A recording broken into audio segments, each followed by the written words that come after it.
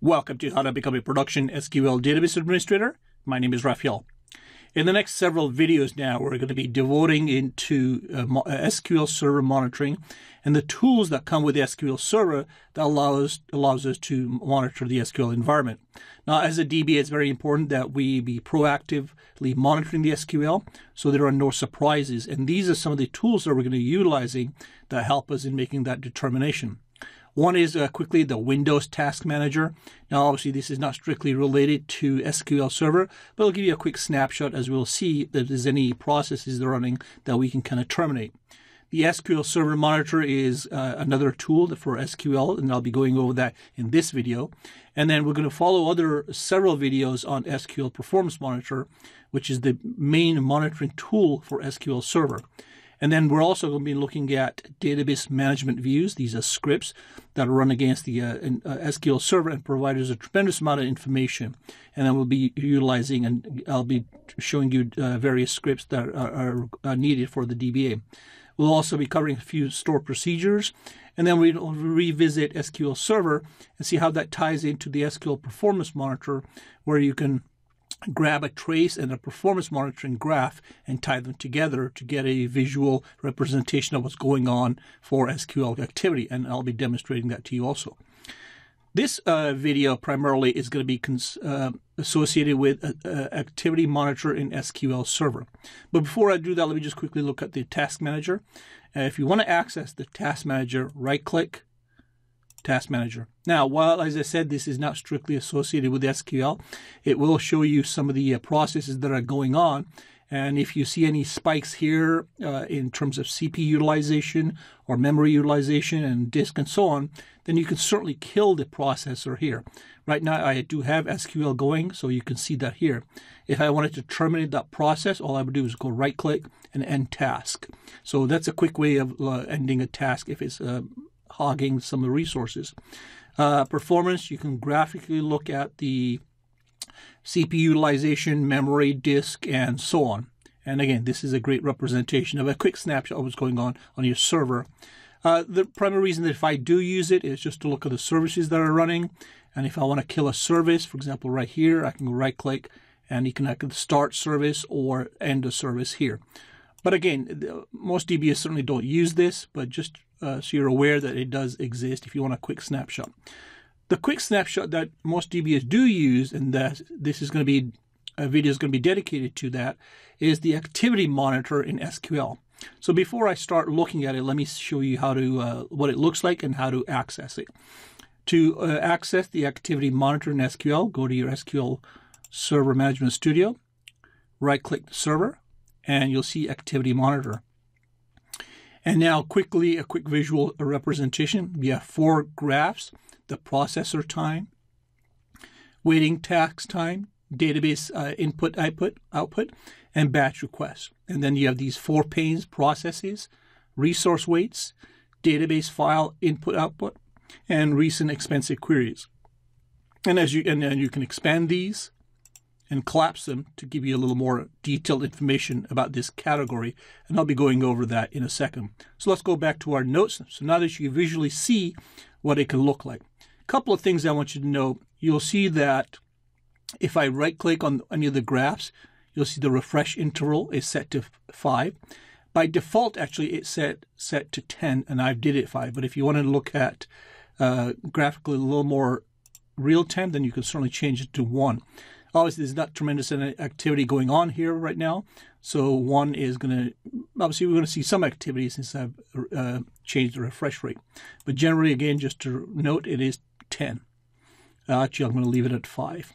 Now, one of the things that obviously the thing is that this it, this utility itself, this tool itself, does take some resources. So you want to be some judicious in using this. It's ironic that you're utilizing a tool to find out performance issues, and then this can cause a performance issue on a uh, production environment. So just be careful with this when you're using it. Uh, so let's go back to our notes, and now that you can visually see what the active monitor looks like and how to start it. So the primary function, so why do you use it? So the primary function of the activity monitor is allow the DBA to quickly view any potential performance issues in the server side, network, or the database. And if any of these contentions are occurring between what's called the SPIDs or the server uh, processor ID, then this is where you can kill that process and uh, allow allow the process to uh, terminate. And I'll show you that in a second. Uh, so continuing, viewing the activity monitor dashboard, you'll notice four graphs, as I mentioned, that help identify any uh, abnormal activity. So if you go back here and if you're seeing a lot of plateau uh, plateaus of these graphs, then it's a concern. A very spike, even 80 or 90% or 100% on any of these, uh, well, certainly in the processor time, is not a caution for uh, processor time activity going on.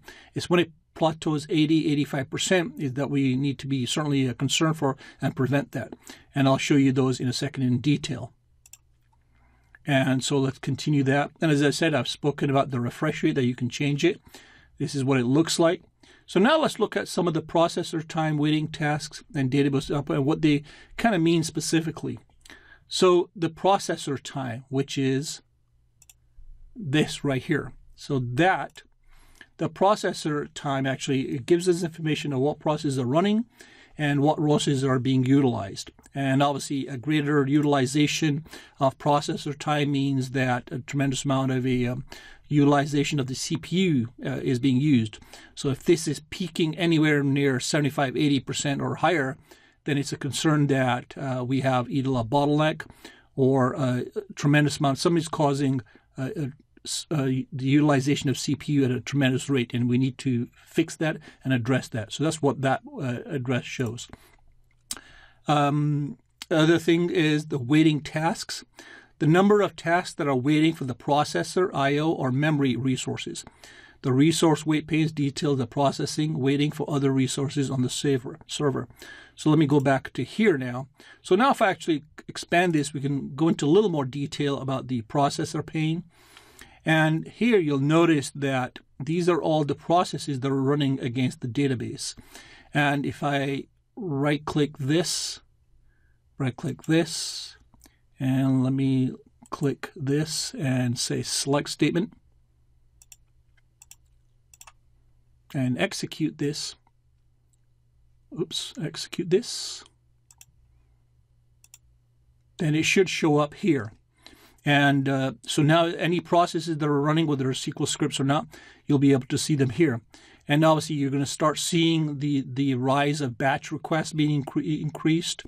You're going to see the database input output if it's being utilized, and then obviously the waiting task. And I'll be showing you these in a second.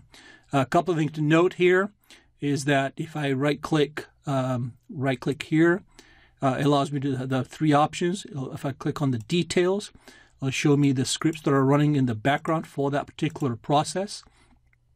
And the other thing is that if I hover over this, you get an explanation of what that particular tab does. This is the database. If I want to filter it, I can. So if I want to look at just SQL, I can here. If I right click again, let me look at this one, of a couple of things I want to look at. And there's the script that I'm running, so you can see the actual script. Now, if that script was uh, causing a tremendous amount of problems, because this may be the 100 million rows, and I want to terminate it, I can what's called kill the process. And in order for me to kill the process, I right click and just go kill process. It'll ask you if you want to do it based on that SPID. Say yes, and that should terminate that. As you can see, it's uh, disconnected. So that's what that kill process does. Uh, so there's the uh, processes running here. And again, if you hover over this, you'll get some tool tips as to what kind of a what kind of applications, what kind of tab this does here. Let's move on to the resource wait stats. And here again, you'll see that the different types of wait categories. This is basically giving you in the millionth of a second. And again, if you hover over this, it'll tell you what processes are waiting to be read or waiting to be processed in any times. And this is the millionth of a second. And so this got the others, you've got cumulative wait time of uh, 0.333 of the network IOs, and so on. So this will give you an indication of what processes are waiting to be processed. The database file IO, if I expand that, It allows you to view all the uh, database uh, MDF and LDF files that are being uh, w- uh, either read or written to, and the response time that they're being accessed to. So you can certainly look at that, and you get all the uh, databases here. Uh, so that's a relatively easy kind of concept to understand. This is a really good one also. Recent expensive queries. If I run that query again and go select, let's do a select statement again and execute it, then we should see that here in a second here. And obviously these are the things that are running in the background um, against that. So there's the process that I'm running. Here, if you go right click, you can edit and you can look at the query that we just executed. If you right click also, you can actually see the execution plan for that query. And since it does not have a index, as we've talked about, it's going to do a table scan. So it's going to be a costly, uh, costly uh, query to execute. And this is the most recent things. And you can see, again, if I hover over it, um, what it's trying to do here. So I'll let you read these kind of things here. Just hover over it. As you'll notice that there are um, system DMVs, which are, you'll see that when I re- re- go over it here. You'll say um, sysdime uh, exec query stats, and those are those are DMVs, which I'll be talking about later. So as you can see, is is, is allocating all the databases that are utilizing, and is and it's monitoring all the most recent expenses. And this is a great tool to quickly get a snapshot of what's causing the the uh, problem here. So now let's just kill that process, and remember how to kill it. Just go to process here, right click, kill. Well, let me just make sure that's the right one. And that should do it actually. So I think that'll be it. I think it's still running, but we'll see in a second. And where is that process? And maybe we have to refresh it. So that's another thing we'll have to wait for if it's refreshing. So that'll give you an idea of how to use the um, uh, activity monitor. And basically, you're just looking for spike, spikes here, or uh, I should say plateaus, I'm sorry. And if you see a plateaus of any of these things, then you should be a concern. So again, um, this is a quick way for the allows the DBA to look at what is causing uh, issues. Let's just stop that manually. What is causing issues and take an address. And uh, when we get into the uh, uh when we get into this process right here, this is where you're going to learn a tremendous amount of mo- how to monitor SQL with counters and events and so on. And I'm going to spend several videos dedicated to the performance monitor because that's a critical tool that we do utilize uh, to monitor our DBAs and take uh, action against it to prevent. But this one will give you a quick snapshot of what's going on. So since our server is not that busy, uh, it's not doing a tremendous amount of activity right here, so we're all, we're all, we're fine. And again, these are these are the processes that are running in the background, and that's fine also. And again, we can just kill these processes also if we need to. And that's how you kill it. So I think I'll just leave it here because I just wanted to introduce you to this um, uh, activity monitor. And its quick purpose is to quickly take a snapshot of what's going on in the server and give you a, uh, an idea. Now, sometimes I have this running uh, in the background if I want to just if I know something is going go, uh, going wrong, just to keep a an eye eye out or a uh, quick eye, eyeball out for it if anything is going wrong. So I'll just leave it here and uh, we'll pick it up in the next one where we start discussing the uh, a little more detail in the SQL Performance Monitor. So I'll see you then. So my name is Raphael and this is how to become a production SQL database administrator. See you in the next video.